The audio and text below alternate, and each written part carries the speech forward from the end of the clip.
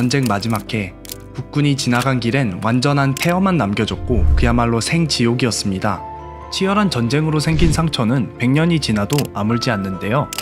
이번 영상에서는 남북전쟁이 어떻게 끝났는지 그리고 남북전쟁의 유산에 대해서 알아볼까요?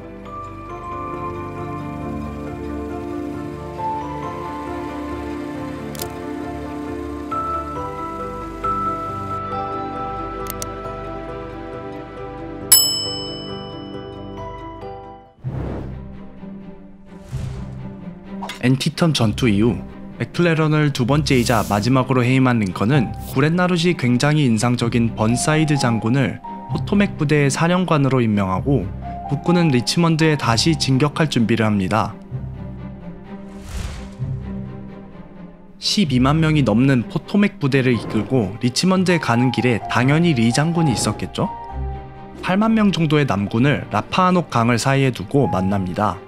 남부의 프레더릭스버그에서 큰 전투가 벌어지는데요. 강을 건넌 북군은 고지에 단단히 자리 잡은 남군에 정면 공격을 감행합니다. 하지만 고지에서의 수비적인 위치를 잡은 남군이 유리했는데요. 이 전투를 지켜본 한 사람은 전투가 아니라 도살장을 보는 것 같았다 할 정도로 전투는 잔인하게 일방적이었습니다. 남부는 5,400명, 북부는 12,600명 정도의 사상자가 난 이 전투는 남북전쟁 중 가장 일방적인 전투 중 하나였고 이후 링컨과 북군은 정치인들과 언론에서 신랄한 비난을 받았습니다.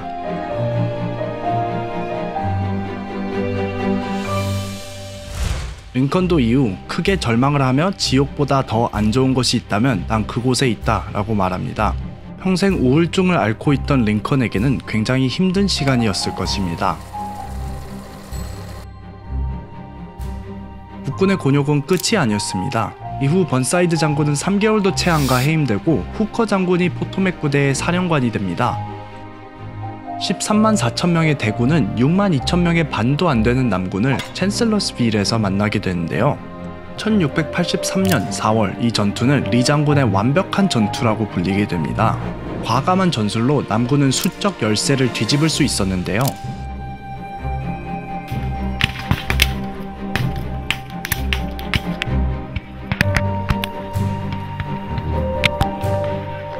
하지만 전투 중에 리 장군의 오른팔 스톤월 잭슨 장군이 아군의 총에 맞아 사망합니다. 슬픔을 뒤로하고 남군의 승리로 동부 전역에서는 남군이 다시 한번 주도권을 잡게 됩니다. 리는 결정타 한 방을 날릴 준비를 했습니다.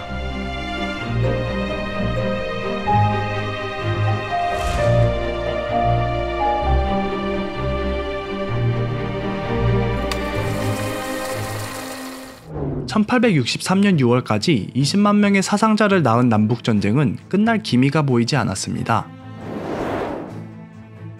자신감이 넘치는 남군은 북부 전개에서 전쟁을 반대하는 목소리가 커지자 마지막 한 방으로 북부를 협상 테이블로 끌어들이기 원했는데요. 워싱턴 DC엔 수비가 너무 견고한 탓에 리 장군은 메릴랜드 북부와 펜실베이니아 주까지 깊숙이 들어가서 북부 영토 한가운데서 승리를 하면 다음 선거 때 평화를 주장하던 북부 민주당이 링컨의 공화당으로부터 주도권을 뺏을 거라고 믿었습니다. 북부로 들어간 남군을 당연히 포토맥 부대가 따라가는데요. 펜실베이니아 남서부에 있는 작은 도시 게티즈버그에서 두 부대가 집결합니다.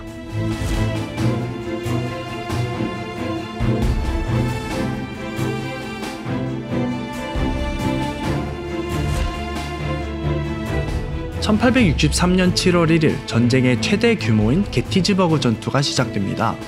9만 4천 명의 포토맥 부대와 7만 1,700명의 북버지니아 부대는 남북전쟁 중 가장 사상자가 많은 전투를 시작하게 되는데요. 첫날부터 남군은 게티즈버그 북쪽에서부터 북군을 맹렬하게 몰아붙입니다. 남군의 유리한 대형에 북군은 게티즈버그를 지나 남쪽의 고지로 후퇴하게 되는데요. 둘째 날 7월 2일에도 남군은 북군을 에워싸면서 몰아붙입니다. 이틀 동안의 치열한 싸움 끝에 북군은 게티즈버그 남부에 견고한 방어선을 구축합니다. 전투의 셋째 날 7월 3일엔 전장의 동쪽 컬프스힐에 공격이 막히고 남군이 북군의 수비 라인을 뚫지 못하자 리는 중앙으로 전면 공격하는 계획을 세웁니다. 돌격하기 전 남군의 포격 부대가 북부 라인에 대규모의 포격을 퍼붓습니다. 하지만 북군의 수비 라인은 견고했는데요. 진격을 하기 전 남군의 롱스트리트 장군은 이후 회고록에 이렇게 말합니다. 나는 리 장군에게 3만 명의 병력이 필요할 거라고 말했지만 그는 주어진 병력은 15,000명이라고 말했습니다. 그것도 경험이 없는 병사들이라 힘들 거라는 의견이 나왔지만 그는 들을 생각도 더 말할 생각도 없었습니다. 드디어 오후 3시경 그 유명한 피켓의 돌격이 시작됩니다. 1200m 정도의 평지를 돌격해야 했던 남군은 북군의 삼면에서 오는 거센 포격에 속수무책으로 당했고 북군 라인에 도달하는 데는 성공하지만 북군의 지원 부대가 들어오면서 돌격은 큰 실패로 끝납니다. 돌격을 한 12,500명의 남군 중 반은 돌아오지 못하는데요.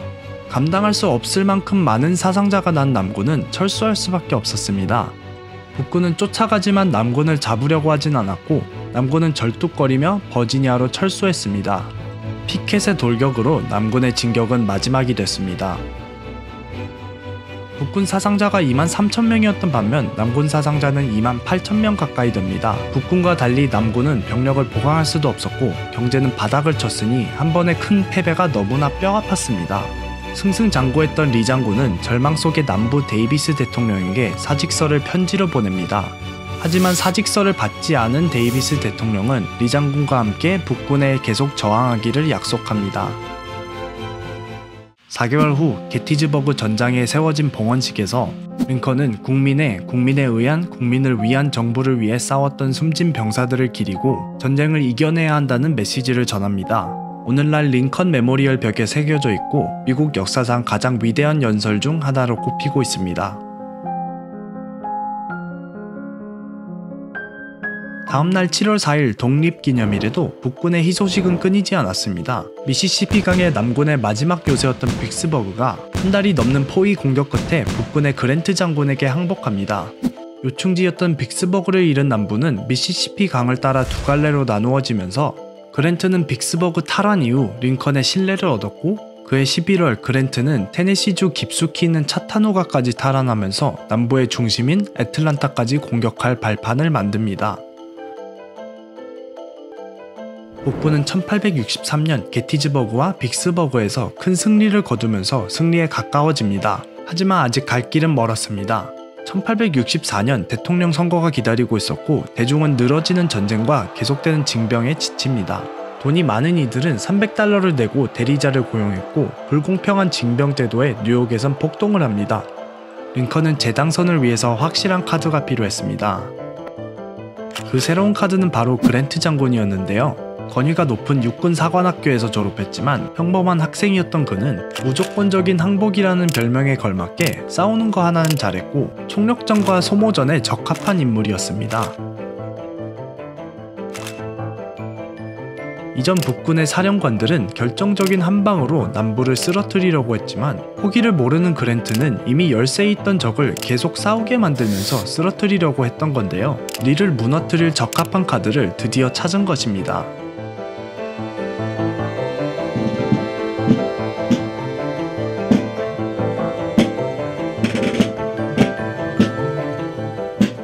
1864년 2월 링컨은 그랜트를 북군의 총사령관으로 임명하고 그랜트는 오버랜드 작전을 개시합니다. 그랜트의 오른팔이었던 셔먼 장군을 서부 부대의 총사령관으로 임명하고 새롭게 강화된 포토맥 부대를 직접 지휘하면서 리의 굶주린 북버지니아군을 계속 두드립니다.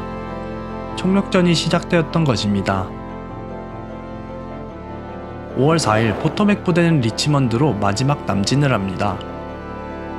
남군의 동쪽으로 진격하던 북군은 5월 5일 워싱턴 DC와 리치먼드 사이 스포트실베니아의 윌더니스에서 3일 동안 잔인한 전투를 합니다. 북군 사상자는 17,000명에 남군 사상자는 11,000명. 이전 장군이었으면 후퇴했을지 몰라도 그랜트는 아니었습니다. 리치먼드를 향해 계속 진격했습니다. 5월 8일 북군과 남군은 스포트실베니아 코트하우스라는 중요한 교차로에서 만났는데요.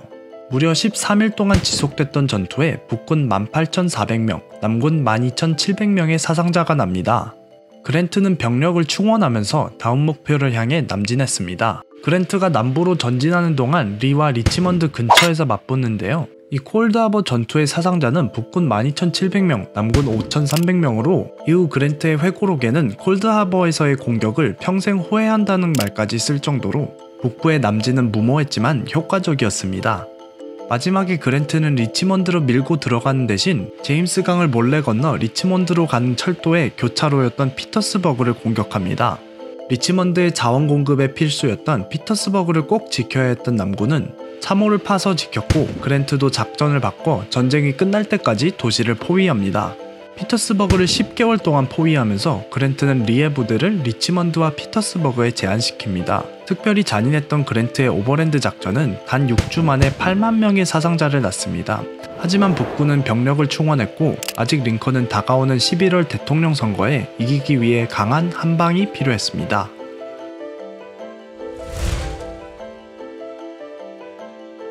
서쪽에 있던 11만 명의 셔먼의 부대는 조지아 북부에서 애틀란타까지 3개월의 긴 전투 끝에 7월 22일 애틀란타 공격을 개시하고 9월 2일 애틀란타를 점령합니다. 남부 교통의 허브였던 애틀란타 점령의 소식은 링컨이 재당선을 위해 필요했던 한방이었습니다. 1864년 11월 선거에서 링컨은 자신이 해임했던 민주당의 쫄보 맥클레런을 투표인단 중 212표 대 21표로 여유롭게 재당선이 되었습니다. 이후 애틀란타를 점령한 셔먼은 도시를 잿더미로 만들고 11월까지 사바나로 진격하면서 가는 길에 모든 것을 태웁니다. 그야말로 지나갔던 길을 생지옥으로 만드는데요. 이건 남부의 전투 의지를 완전히 소진해버리려는 목적이었습니다. 전쟁 전 번창했던 찰스턴 같은 도시는 북군이 지나간 후 처참한 폐허가 돼버립니다. 이후 북부는 마지막 붙이기에 들어갔는데요. 리치먼드와 피터스버그는 1865년 4월 초에 드디어 함락하고 리의 부대는 끝까지 저항하다 에포메터스 콜트하우스에서 4월 9일에 끝내 항복합니다. 영혼의 라이벌이었던 그랜트와 리는 전쟁의 끝에선 서로를 존중해주며 리와 병사들을 말들과 함께 집으로 돌아가게 해줍니다. 리는 북군의 호위 아래 씁쓸하게 리치먼드로 돌아가게 됩니다. 리의 항복으로 길었던 전쟁은 사실상 끝나게 됩니다.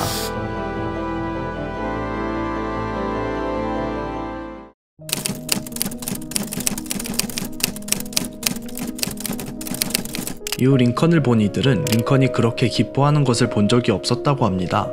임기 시작부터 5년 동안 전쟁을 한 링컨은 그새 늙어 있었고 지칠 대로 지쳤지만 새로운 미국을 이끌 준비를 하고 있었습니다. 리의 항복 이틀 후 링컨은 친구에게 자신의 불길한 꿈에 대해 얘기합니다. 꿈에서 링컨이 텅 빈 백악관의 이스트룸에서 시체를 발견한 겁니다. 그리고 그 시체는 다름 아닌 자신의 시체였던 것이었습니다. 그 후 며칠 동안 편하게 잘 수 없었던 링컨은 얼마 후 4월 15일 전쟁의 승리를 기념하기 위해 포드 극장에서 기쁜 마음으로 웃으면서 공연을 즐기고 있었습니다. 공연이 한창인 10시 15분 남부의 동조자였던 존 윌크스 부스가 링컨의 박스로 들어섭니다. 링컨이 한창 웃고 있을 찰나 뒷머리에 총을 쏘고 스테이지 위에 올라가 버지니아의 표어인 Sic semper tyrannis 폭군은 패망할 것이다 라고 외친 뒤 도망을 갑니다. 전쟁의 기쁨을 맛보기 전에 암살당한 링컨의 소식을 들은 미국 국민들은 충격에 빠집니다. 미국의 대통령이 암살을 당한 건 처음이었습니다.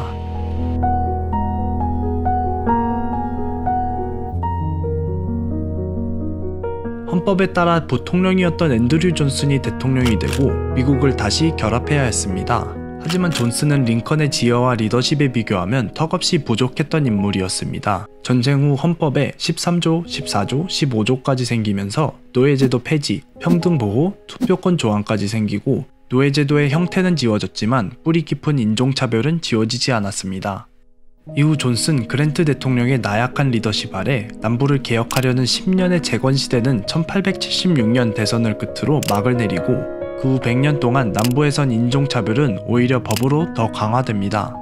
연방은 살아남지만 인종 간 갈등의 그림자는 지금도 거쳐지지 않는 미국의 가장 큰 골칫거리로 남습니다.